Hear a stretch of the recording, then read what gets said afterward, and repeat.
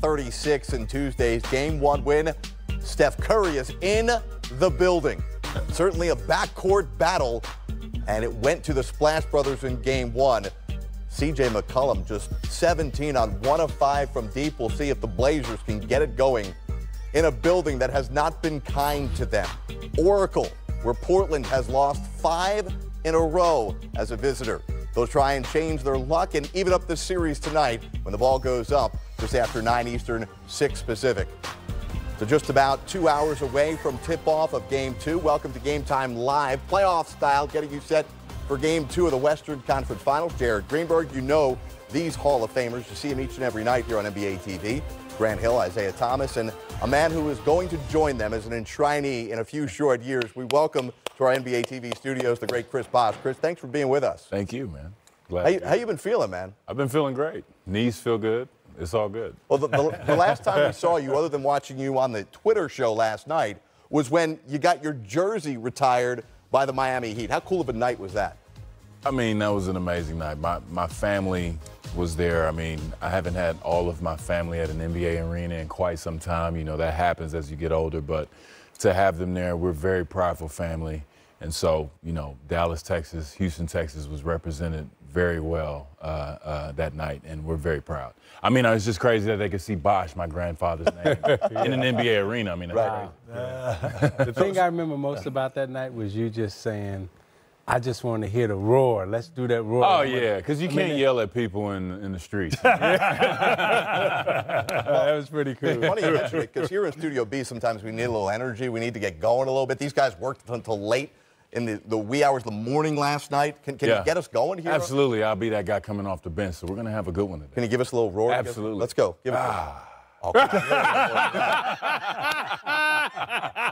Chris, you're only here for the pregame show. The rest of us are here all night. Yeah. You don't have to pace yourself. Oh, we'll, we'll we'll get it going, man. No problem. All right. Chris Bosh will work us. out just fine. We'll, we'll, we'll, talk about the Eastern Conference Finals with one of your former teams, the Toronto Raptors, involved in that a little later on. But let's let's talk more about the Western Conference Finals and that battle of the backcourts. Man, oh man, was it dominated by the Splash Brothers in Game One, outscoring CJ and Damian 62 to 36.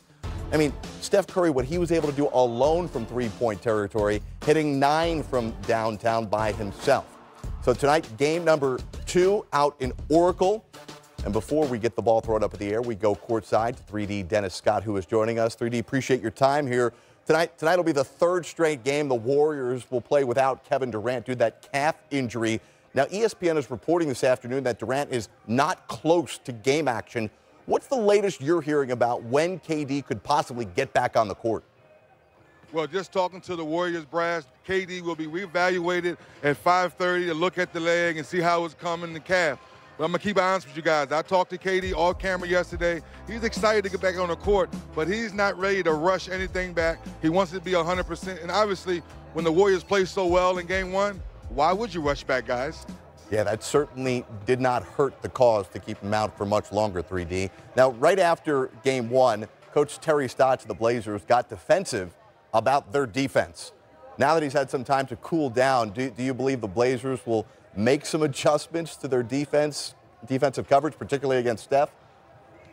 They, they have to. When you have nine uncontested three points and shots, you know, come on, this is Steph Curry, so you have to tweak your defense. So I know the coaching staff went back and watched the film and saw that every screen that Kanter was involved in and Steph was able to come off the screen, he was wide open and knock down shots. Same thing with Klay Thompson. There was like four or five wide open, uncontested threes as well when he came off pin downs and flare screens. So they have to tweak that defense. You know, 3D, when we go to the other side and you talk about Dame and CJ, every time they came off a screen, they were either trapped or hard hedge. They didn't get to come off, square up, take a good look. How do you think Stotts is going to free those two up tonight where they can have some freedom and not necessarily be regulated or reg- regimented to just screen and role play? One or two things I say. You're either going to want a 1-4 flat like Coach Stott did in Game 7 against the Denver Nuggets and let CJ go one-on-one. He was able to get to his mid-range game. But you got to give the Warriors a lot of credit. They switch with purpose. They switch and deny. They switch and get under so you can't slip to the basket. So somehow you have to get better movement better ball movement if you want to attack this Warrior defense. So I look for CJ or Dame to get off tonight somehow, some way. Otherwise, they'll go down 0-2 tonight. And 3D to continue with that thought, Dame Lillard really struggled, had more turnovers in game one than he's had in the last five months. I thought Klay Thompson uh, and Andre Iguodala did a great job on him. Their length gave him problems. Uh, any, any idea in terms of what Dame will do one-on-one against those guys? Uh, not used to going against guys that maybe have that kind of size and length, but also have the lateral quickness as well to stay in front of them. Grant, you bring up such a great point with the Warriors defense with their length. So now when Dame comes downhill, we use that term a lot, he sees nothing but elbows and arms and fingers. So all those turnovers we saw in the first half was very uncharacteristic for Dame. So I know he went back and watched the film. So Isiah, you notice as a point guard, I look for him to be a little more aggressive when he gets to the rim, try to finish early on and not look for passes, look for his own game, and maybe that gets him going. And uh, 3D, you know, I'm just really making things up off the cuff. How is it seeing phenomenal shooters like that be open? Were you that open when uh, you were playing in the playoffs? CB4, I wish I could be this wide open on the wing knockdown shot. So, no, I was never that wide open. You know the old term, don't leave him, otherwise you're coming out the ball game. hey, hey, 3D, what about Enes Kanter? How much he does offensively, we know, but is he playable in this series with his defensive liabilities? Well, if they're going to continue to use Kanter in the high pick and roll and he's not willing to step up, you have to bring him off the floor. Otherwise, we'll be jump shot after jump shot. And we know when you do that, they'll show us they're the best shooters in the ball game. So somehow, maybe Collins or someone else comes off the bench. You have to show hedge hard. Otherwise, let it fly, guys.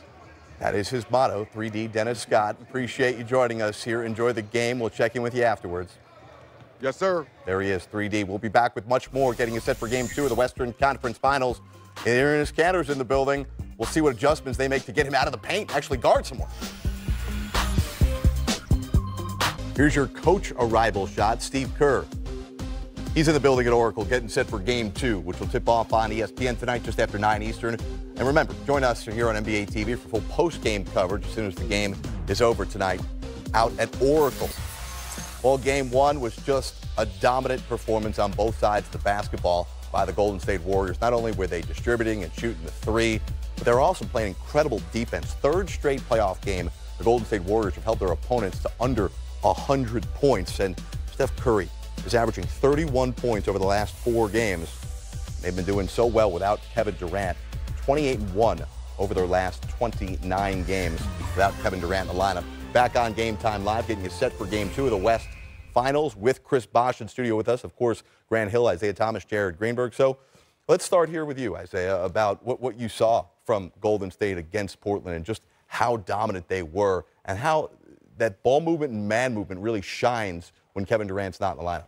You know, I, have I've said this before. Go, Golden State plays with perfect randomness. So mm when you talk about ball movement and player movement, you know, they read and react and they play off each other. So there's no set pattern of play that you can really understand how to play against. So you really have to defend, depend on your defensive principles and your tactics in terms of what you've practiced and played against. And here on any type of screen and roll situation, we see that the big is laying back and Steph is just coming off. And these are these are just warm-up shots. These are the these are the shots really that he practices before the game mm-hmm. when he brings the audience out and everybody's just watching him shoot. That's what the Trailblazers were doing, just basically watching him shoot. And they're going to have to do something totally different tonight. But the randomness that Golden State plays with is very difficult to guard because of the passing, the moving, and the cutting. Yeah, and, and Isiah, that scheme was wrong. Look, uh, all wrong for Portland. Uh, Steph Curry, the best shooter in the history of the game, 23 shots, 12 of them uh, were wide open. and so you can't give the best player in the game the shot. There's got to be an adjustment. Uh, we talked about that defensively for Portland. But I, w- I want to come out here and demonstrate. Oh, here we go. I want Isiah, since he's, you know, one of the great point guards of all time, to be Steph Curry. Oh, want... Steph, I'm shooting it, baby. Steph Curry, my dream has come true. I got a J like Steph Curry. that, that's the ultimate respect right there. Ultimate respect.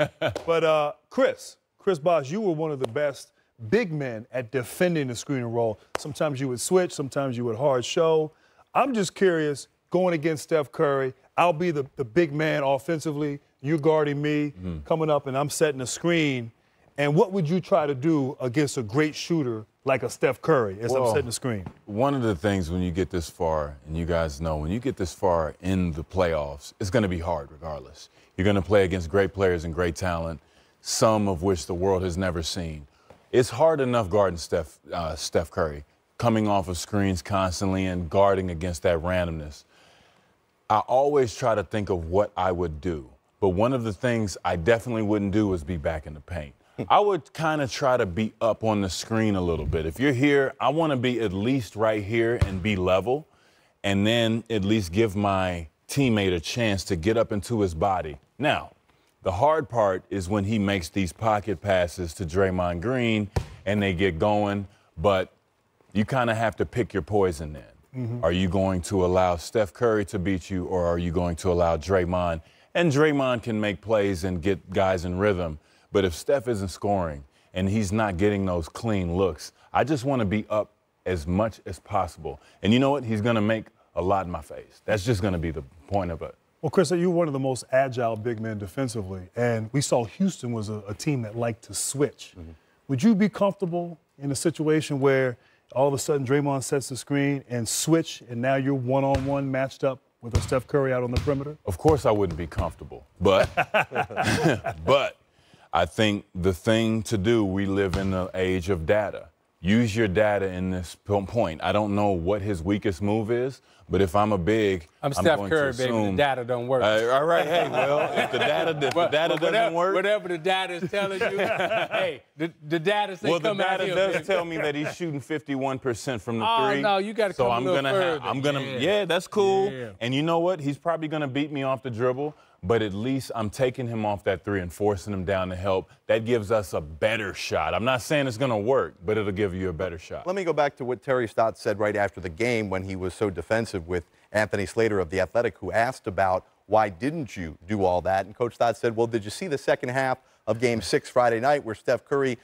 scored 33 points? And Coach Stotts threw it back at the reporter and said, well, were they doubling him then?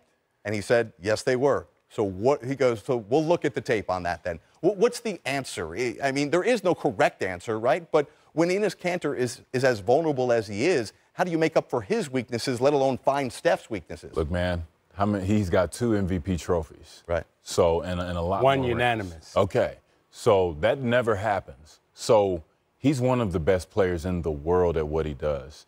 It's going to be hard enough, like I keep saying. You just want to hope that he misses. You want to give him as many contests as you can, easier said than done, but you want to hope that he misses those shots. And when he, if and when he misses those shots, you got to get rebounds. You can't turn the ball over in the open court. You have to keep that down. Portland, I think, will do a better job of taking care of the ball in game two. All right, let's switch and, and come back so we don't freak out all the lighting people here. come back into the paint and talk about the other side of the basketball with what the Portland Trailblazers are going to have to try and do. We, we saw in their series against uh, last series where, where they got Hood and Kanter involved to, to make up if Lillard wasn't having a great game, but he has not been shooting the basketball well. CJ had been shooting the basketball well. He didn't shoot it well. What, what has to happen here, Isiah, with this Portland team to get going? I think that the only way you can really beat, you know, in my opinion, a, a Golden State team that plays as well as they do. And we were in the back, Chris, and we was talking with Channing Frye. And, you know, Channing was giving us, you know, some of the ways that they tried to play against Golden State. And either you got to take all your bigs off the floor and match down to their small game, their perimeter players. You can't, this may be a series you can't play Kanter in. And if you're to play Kanter, then you got to put the ball down low. You got to put it into the post. You got to make it nasty. You got to let them score around the basket. You got to let them get people in foul trouble. And Channing Frye, again, he, he made the, uh, the beautiful point last night. He said it gives you a chance to set your defense because when you use the post, you can score down low, you can get back in transition, you can play five on 5 mm. and if you get fouled, you can go to the foul line, get free throws, and set your defense. But when you're letting Golden State run up and down the floor and don't have a chance to really set your defense, and you're playing with bigs who traditionally are post players, but you're not using them in the post, then you're basically playing five on four out there, and that's what we saw Golden State was doing with Portland last night. Does, does Damian Lillard night. have to force the issue a little more? You know, I think he has to be aggressive. I mean, he, you know, he's somebody who I think will have a better game. He's had a, a tough game seven against Denver, uh, a tough one going back to where he grew up, game one the other night. Uh, so he, he will make, I think, the necessary adjustments, and, and the great players do. Um, I, I, think he got a little, as you can see, out of control. Uh, obviously, the turnovers were too much. And this is a team that when you turn the ball over, they're scoring twos and threes on the other end in transition. So valuing the basketball, uh, being aggressive. But I, I, I, love what what Isiah said in that maybe Kanter doesn't play in this. Maybe you go to Collins, who maybe more of a mobile big, or maybe you just go small. And you because you know Golden State, that was it called the Hamptons Five, or that right, yeah. that small lineup that can switch everything. It causes so many problems right. uh, offensively when you're trying to execute. And then the way they move the ball. I love the term you use, random. Perfect randomness. Perfect random, because you can't plan for some of the stuff. They just play out of principles. And so it's not like you can diagram defensively what you're going to do. So you got to have guys that are comfortable playing out on the perimeter, comfortable switching, comfortable being paranoid on the weak side. That to me, both offensively and defensively, is how you have to approach the Golden State Warriors. Chris, what are you what are you seeing out there from Portland's standpoint when they're trying to take down Goliath? Well, I mean, you have to play almost perfect basketball, and that was game one. Game ones are tough you know, they built a cadence to playing defense against the the Denver Nuggets. They get used to seeing the same guys, and then all of a sudden, you're on the road against the defending champs. They've got to make sure that they get back to their game. I think if you look to a lot of those uh, highlights, their spacing was off. Um, a lot of bad turnovers, unforced turnovers, especially. That gets them out in transition. Like Isiah was saying, you're in no man's land, especially on the road they need to just take care of the ball, take good shots, and I think um, you know Dame should be aggressive because he's one of their guys. When he's aggressive, no matter if he's making or missing, that team is going to play well. And for him, some added motivation because if they lose tonight, it could be Dame's last ever building, eh, ever game in this building in the city that he grew up in, in Oakland. So he wants to avoid that and try and force a game five back in Oracle coming up in a couple of days. We'll come back and talk more about the Western Conference Finals, but also shift gears and look to the Eastern Conference Finals. Get that ball, Greg. Come on, Got You're pretty quick, Steph. pretty quick, Steph Curry. Hey, Brook Lopez doing his best Chris Bosh impersonation I got last the ball. night. Talking about I like Milwaukee and Toronto. Curry, 36 points on 23 shot attempts. An efficient game one victory. Also had seven assists and six rebounds. He was real good. They're still playing without Kevin Durant. Let's hear more on that and get you set for game two by going inside of Oracle to the podium where Steve Kerr is. Uh, John Dickinson, 95.7 the game. But do you have an update on, on Kevin? He's supposed to be reevaluated today. Yeah, he's going to be um, evaluated by our team doctors this evening before the game. And we'll have a statement out, I think, um, after that. Obviously, he won't play tonight, um, but uh, we'll we'll give you the update um, after he's evaluated by the by the team doctors.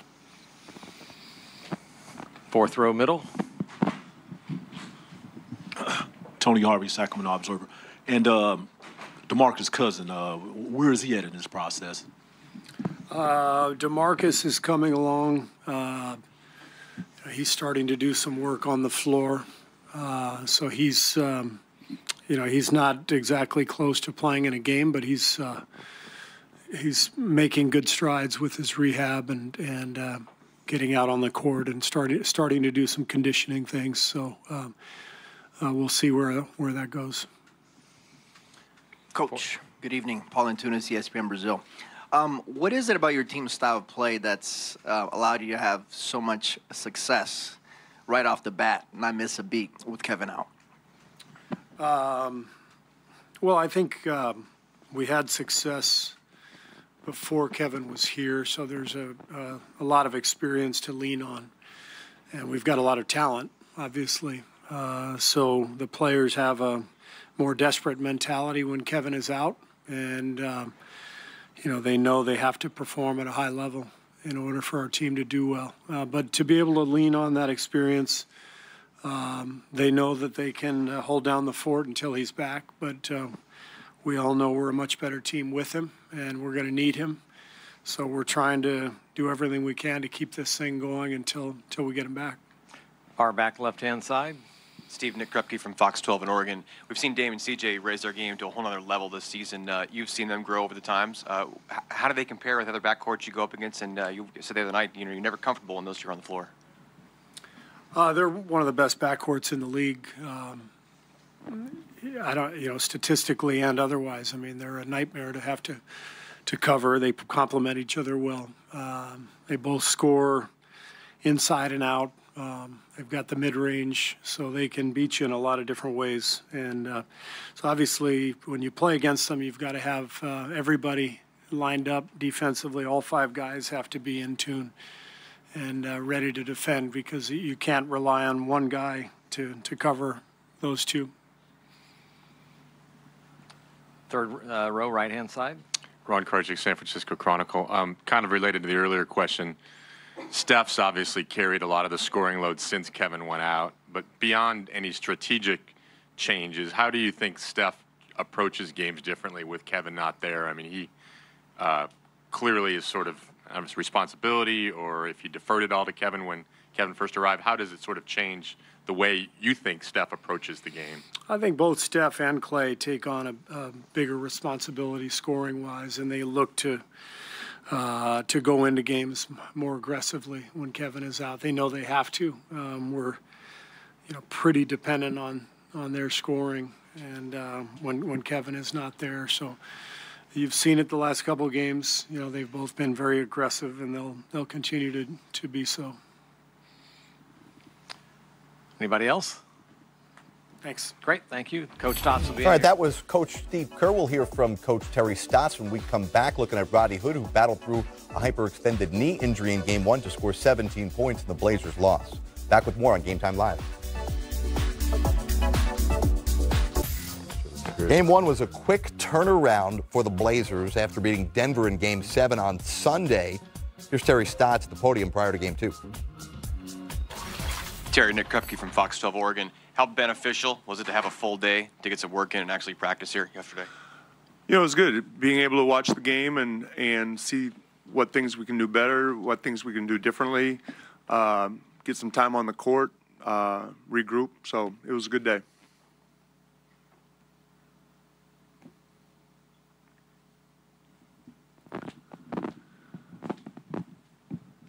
Phil Barber, Santa Rosa Press Democrat. When you looked at tape of that game, did you see a lot of small adjustments you need to make, or did you see shots not going in by good shooters, and you're confident that that will turn in this game? So um, I think we saw a lot of things that we can do differently and better. Um, offensively, when you look at our, you know, when you look at our shooting percentage, our three-point shooting, our shooting in the paint, our turnovers. Um, lack, that's a fine.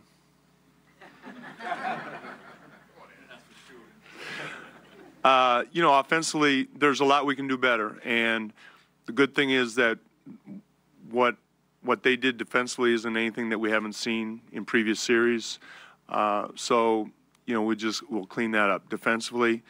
Um, you know, and ad nauseum, we've seen the pick and roll defense.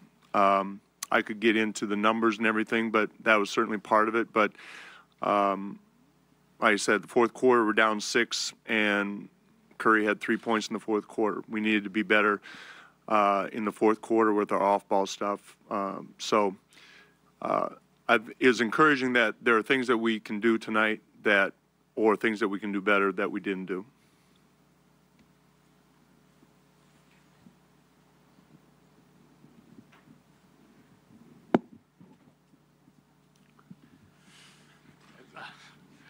Connor Letourneau, San Francisco Chronicle. Uh, Terry, what uh, what point did you see Dame really get comfortable with the 30 footer? When did that kind of become a, a, key part of his arsenal? I think it's been gradual, but certainly this year was um, he had spent a lot of time over the summer, and I think it's been more obvious that this year was it was something that he was going to incorporate into his game. Uh, I think he's always had range, but uh, the time that he spent over the summer this year was I don't know if, if there was necessarily a point in the season um, that it happened, but it was just uh, over the course of his career, it was just kind of gradual. Other questions? Okay, wrap it up there. there's someone back there. Kevin Durant may be out for the entirety of the series. We'll find out more in just a few moments. How different is it for you to try to prepare defensively for this team with or without him on the court? Uh, well, with him on the court, there's just just another uh, great offensive player, and so when you put him out there with with Steph and Klay, it, it's really challenging from a defensive standpoint. Um, and his versatility in, in his offense. Um, when you take him out of it, uh, I think I think they do play a different style. Certainly, Curry gets more involved. I think Klay gets more involved uh, because they need to, and so uh, the focus or emphasis on those two guys probably becomes a little bit more.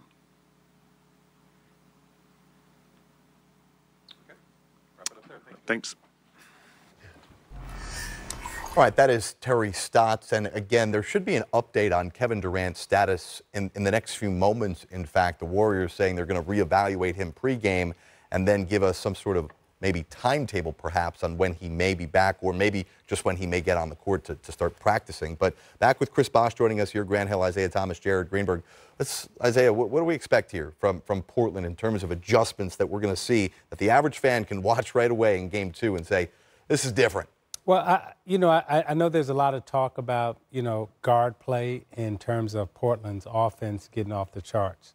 Um, but I, I, think the biggest adjustments that we need to look for is defensively. What are they going to do with Klay and Steph? Will they will they hard hedge them? Will they trap them? Will the big come up and show hard on the screen? And if we see that adjustment being made, then that's one thing that we can look for in the game. Second thing that we need to look for in the game is will they take the bigs off the floor, play with smaller people, maybe put Evan Turner in the game and let him play a little bit. But Maurice Harkless joked after game one that, that and he was joking that we need to play Evan Turner at the five.